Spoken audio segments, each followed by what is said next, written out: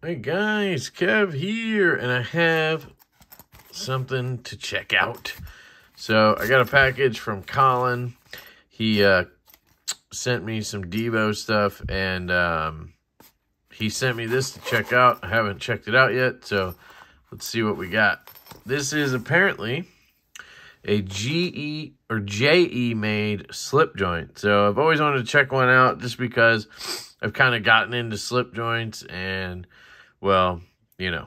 So I right off the bat hate this lanyard with a passion. I guess he carries it uh, raw dog. He doesn't put it in a slip or anything. It's got carbon fiber, which is interesting. It's sort of your normal weave carbon fiber. You're dead centered.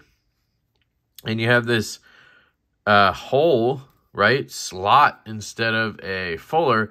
And right off the bat, I can tell you I don't really love the uh, pinchability here. You don't get a lot of room to grab. Um, you can obviously get your nail in there and then pop it, but that's sort of unfortunate for me. Got good uh, good snap open there. It says JE Made 2021. You've got this stone washed finish. I can see why Colin likes this. It's got the stone wash. He likes stone wash. It's got the spear point. He likes a spear point. Nice thin grind. I like that. S35VN. That's decent. I think these run about a couple hundred bucks. Um, good size knives. Fits pretty good in the hand. I'm actually carrying a slip joint today, so I have my, um, I almost said cyberpunk, my cyborg from Jack Wolf Knives in the pocket. And I'll grab some other slip joints so you guys can see. We have the James Brand Wayland right here. And I'll grab the Ohio River Jack from Traditional Pocket Knives as well. Uh, usually slip joints are all in that same sort of size range, to be honest. And as you can see, they're all in that sort of size, size range right there. Um, so definitely something to note. Close that one up. Close this guy up. See that? Getting better. I am getting better at one-handing these pups. Haven't done this one before, so I'm just curious if it'll cut me. Nope, I had plenty of room there. I'm growing some balls, guys. Growing some balls. So then we got this guy. We just check where we're at here. So that faux bolster should be fine right about here. Give it a pop. Yeah, the walk and the talk, I got to say, feels very, very good. This is pro. I hate this nail nick or fuller, whatever you want to call it. This is probably the best walk and talk I've felt other than a Jack Wolf, and it's man, it's almost close to that. Hard to tell on that first pull because I just absolutely hate this uh, cutout. I would want a. I will check their site because I actually kind of want one of these, and I'll see if they have a sheep's foot that has a taller area to grab. I would dig that.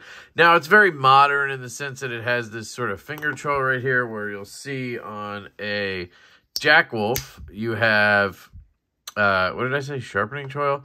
You have the kick right here. And I guess you do have a sharpening choil, but I don't know why it looks, I don't know. It's interesting to me. Um, I guess because there's no uh, kick right here, because there's a stop pin, maybe it looks a little bit different, but I guess it's not really that different. So maybe that was just in my head there for a second. Um, but I do think the full or the titanium scales and then having the camo carbon covers makes this still have a lot of traditional look to it, yet that flair of modern where this kind of just feels like a moderny knife because of the um, full uh, camo or the full carbon scales. But trade-off is this thing is stupid light. So, yeah, I'm definitely going to see if they have a sheep's foot style one. Um, I can get it, but it's just, you know, I, I'm learning here. And this is definitely addicting. Really good walk and talk, honestly. Uh, I wonder who makes these. Uh, my guess would be if it's not whoever makes these, and it would be Riot. Uh, seems flush there. Flush there. That's the one downside. Um, flush there. Do you hear the spring is a little bit bigger there than the than the um, tang of the blade. Um, do you hear it when it closes? It makes that thud versus that nice acoustic because it has a stop pin in there versus working off of a traditional kick. Um, this is really cool though. Uh, I'm glad Colin sent it to me. So uh, I'll probably carry it a little bit. I might just try to uh, drop it into that same slip right here that I have the uh, James brand in. Should just fit right in there. Yep. And then I can carry it like this and try it out. Um, I will say, uh, you know, having these two in now, that there are some good options out there, guys. I have not tried the uh, Riot made ones that Pena has. Uh, that would be another one to check out. But these are not bad. I mean, this is 189 bucks. It's got pretty good walk and talk. Not fantastic, but you know, I'd put it around a five or six out of ten with the walk and talk. This is a notch up. This is definitely just got a little more spring to it and a little bit stronger pull, and I'm really digging it and then the weight, you add all that, and it still has a traditional look. It's it's very interesting. Um, definitely digging it.